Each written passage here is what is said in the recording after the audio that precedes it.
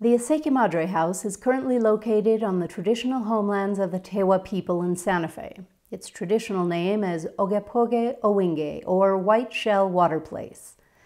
The American West is a site of ongoing encounters among different kinds of people with different notions of home and family, and different ways of thinking about property and resources, and differing histories. Outsiders have become insiders who then have questioned the authenticity of those who came after.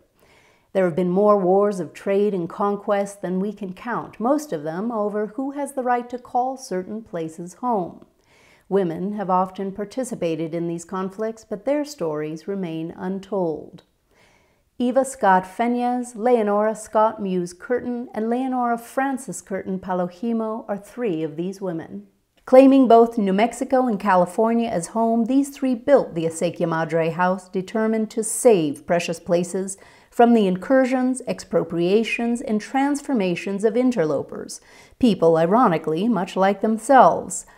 Together, they developed passions for regional arts and culture and a collective genius for real estate development. In 1891, when Eva and her daughter Leonora first arrived in Santa Fe, there were few Anglo immigrants. But by the end of the 1890s, the railroads had spent millions advertising New Mexico to Eastern tourists. In the decade following World War I, hundreds of artists, writers, and visionaries, many from the East and most of them Anglos, journeyed to northern New Mexico to claim a home. Anglo women who defied convention in matters of love, family, career, and politics led the migration. Women like wealthy arts patron Mabel Dodge Luhan and the writer Mary Austin built pliable and expandable adobes to find an alternative way of life to the rigidity of Victorian houses that entombed male headed nuclear families. Like them, Eva and the Leonoras would create a home in which women played the primary role in the transmission of property and family continuity. For Eva, Leonora Curtin, and Leonora Frances, home was not a single building or even a particular city. Instead, they searched for the highest quality of life in the way others today might have a residence in Los Angeles or Dallas, a pied a terre in New York or Paris, and a trophy home in Aspen or Jackson Hole. In the process, they created and recreated their home as they moved from place to place, while also driving up property values. They returned often to New Mexico, where they nurtured friendships with a budding colony of writers, archaeologists, and artists, and soon were determined to build a house of their own. In 1922, Eva purchased land about one mile southeast of the Santa Fe Plaza bordering the Acequia Madre, intending to build a house. She had already begun to invest in New Mexico, buying and selling commercial property to generate rental income. Aesthetes, artists, and patrons of the arts, Eva and the Leonoras were also savvy businesswomen who made shrewd investments in Western real estate. Four acres of their new parcel were reserved for the family's home, four rental houses, two of them gift houses, to Leonora Curtin and Leonora Frances, were planned for the remaining lots on land facing San Antonio Street. Over the next few years, Eva wrote letters to her husband, daughter, granddaughter, and secretary that were full of gossip and descriptions of social events, as well as the minutiae of buying, selling, building, and managing personal and commercial properties in the Southwest. Land was a commodity for the women, and travel across land a regular luxury. Despite joining wholeheartedly in the embrace of a romanticized Spanish Pueblo pass that has come to symbolize Santa Fe, Eva and the Leonoras were critical of the impact of tourism and commerce on the local landscape. In home building, the women reimagined their relationship to both the landscape and the complex history into which they had inserted themselves. Historian Flannery Burke has examined the ways in which the quote, Anglo arts community recast the home as a wider space of New Mexico. End quote. Women like Eva, Leonora Curtin, and Leonora Frances appropriated and protected the Spanish Pueblo past they admired by using devices such as building permits, tax breaks, patronage, and preservation organizations. They brought the trappings of modernity to New Mexico, guided by a desire to save the remnants of what they defined as a simpler past from the ravages of the modern era. Engines of cultural hybridity, they acted in the name of preservation, and they tended not to reflect on their own possession and expropriation of property, whether cultural or geographic. Few Western transplants see the paradox of their own desire to then preserve culture. Those who are roughing it in wilder burbs or playing cowboy at ranchettes outside Missoula or Taos, or picking up squash blossom necklaces or leather cowboy hats in Santa Fe boutiques, want to consider themselves the shock troops of suburbia or perpetrators of the mauling of America. Small wonder, then, that earnest modernists like Eva and the Leonoras spent little time contemplating the ironies inherent in who they were and what they were doing. In part, Eva and the Leonora shared with other Anglo Americans an impulse to glorify what Carey McWilliams called the, quote, Spanish fantasy past, as they hired and oversaw, quote, local Mexicans as laborers and servants.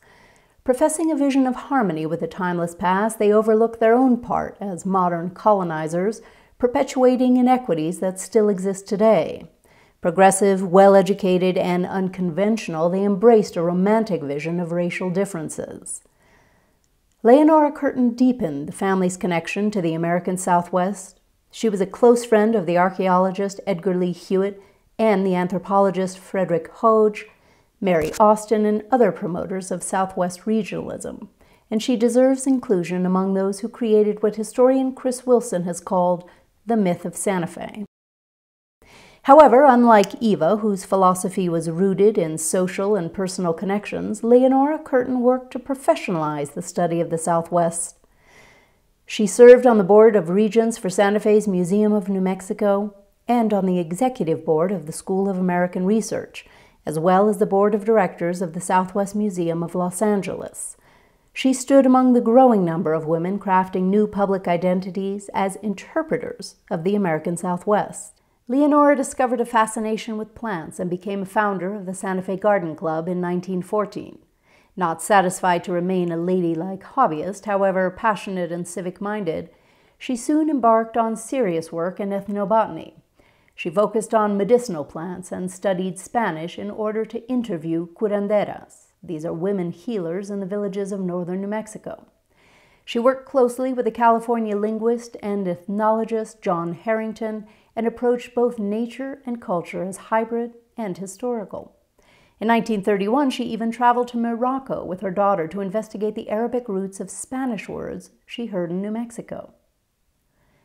In 1947, Leonora published Healing Herbs of the Upper Rio Grande, a book still in print. Her second book, By the Prophet of the Earth, published in 1949, was the product of four seasons of fieldwork with native informants among Arizona's Pima now Akimel O'odham tribe. She would visit Indian women's clubs every day with Elizabeth Hart, a U.S. government extension agent assigned to the reservation to teach sessions on home economics in hope of preserving their knowledge of native plants. Leonora traversed the countryside with Hart collecting plants and speaking to the women who attended these sessions. Leonora created a professional identity for herself and joined her mother and daughter in working toward the revival of regional crafts. At the time, Mary Austin and the artist-writer Frank Applegate were leading an effort to revive craft work, and the three women quickly jumped on board. Eva saw the newly created Society for the Revival of Spanish Colonial Arts as an extension of her decades of collecting and philanthropy. Leonora Curtin and Leonora Frances would position themselves more visibly as experts and agents in the preservation of New Mexico's heritage. This preservation deepened their sense of connection to place. But what were they preserving? Why did it need to be preserved? What was lost? And who was making these judgments? The Anglo members of the Society, incorporated as the Spanish Colonial Art Society in 1929, set out to, quote, save the disappearing craftsmanship of a Spanish past. As they approached the history of the region, they focused on a vision of humble villagers pursuing the arts of the home rather than celebrating the epic achievements of conquistadors and missionaries. In 1926, the Society organized a Spanish arts and crafts exhibition as part of the city's fiesta celebration. It also tried, with little success, to create a shop that would provide a retail outlet for the newly revived crafts. As Anglo men and women promoted the arts of New Mexico's Spanish and Mexican past, they engaged in paradoxical politics. Of course, they were sincerely enthusiastic about traditional crafts, but their paternalism ignored the ways in which the politics of Anglo American conquest had long stunted the economic growth of New Mexico's rural villages. As patrons, they created new possibilities for craft workers, but at the same time, their promotion of pre industrial culture invoked an Anglo fantasy of New Mexico's past. In the end, their efforts fell far short of fostering village prosperity. In 1932, two years after Eva's death, Leonora Curtin and Leonora Frances purchased El Rancho de las Golondrinas, an historic working ranch in La Cienega, 14 miles southwest of Santa Fe. Despite the onset of the Great Depression, they had continued to invest shrewdly in the stock market and had plowed their profits into real estate. During this period, New Mexico's villagers and farmers faced devastation. By 1933, one third needed federal assistance for their survival. The Leonoras took advantage of the economic crisis. As the younger Leonora dispassionately observed, quote, land values had been brought down in New Mexico by years of drought and then were further lowered by the money crisis. This was a situation which seemed to offer many favorable opportunities, she said. In her history of La Loma, Leonora Frances wrote that ranching was not the only business in which she was embarked in 1932. There was also Native Market in Santa Fe. She had come to share her mother's and grandmother's passions for Spanish colonial culture and art and the vast desert landscape. She wrote in 1922, quote, I am just saturated with the glory of New Mexico and have no mental capacity for anything else. Oh, the infinite immensity and beauty of this magic land. End quote.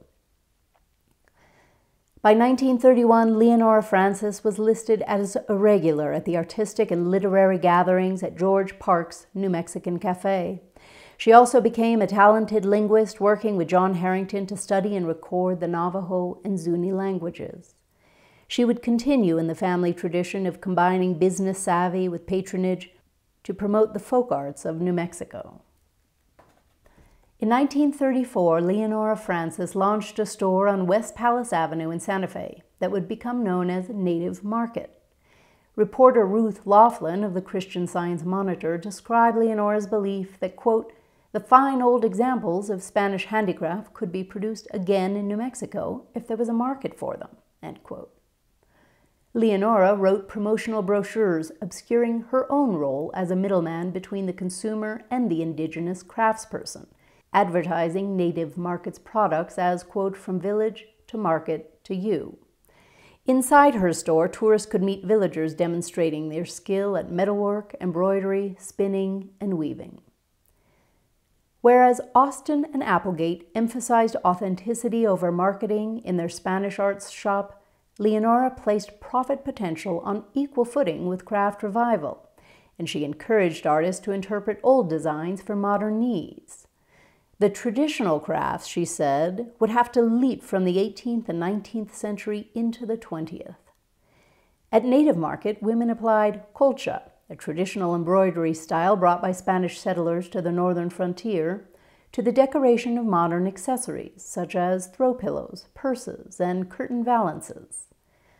Together, mother, daughter, and granddaughter created identities rooted in specific places. They maintained family bonds through writing, collecting, and preserving local histories and languages. They designed and built houses, speculating in and profiting from real estate, and created a legacy of local institutions out of their own homes. To emphasize one home over any of the others as primary or secondary disguises the women's mobility among multiple contested sites. Their very mobility both embodied and challenged regional cliches as civic leaders in Pasadena and transient outsiders in Santa Fe, as adventuresses in Cairo and society women in the American West, as nurturers of regional artists in California and romantic patrons of Nuevo Mexicano craftspeople in New Mexico, and as astute businesswomen and devoted family members. To look at the multiple spaces inhabited by this extraordinary family expands our definition of home beyond domesticity to encompass the process of inhabiting places.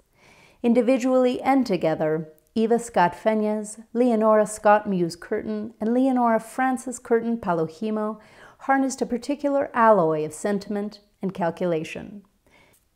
Their good intentions and big money subtly altered the chemistry of landscape and culture in the American Southwest. They profited from and protected the Spanish and native past they admired and founded. They funded and erected cultural institutions that directed the growth and identities of Pasadena and Santa Fe, two of the emblematic cities of the region.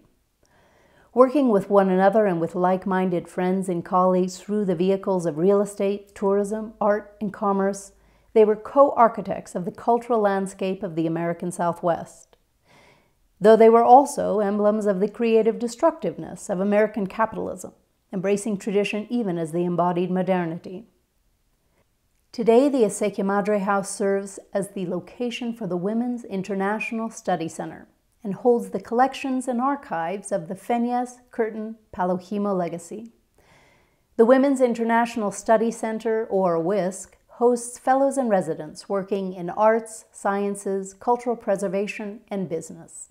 Fellows come from all over the world to work on projects and share them with the broader community. In keeping with the legacy of the three wise women, the Acequia Madre House continues to support contemporary artists through residencies, exhibitions, and interactive programming.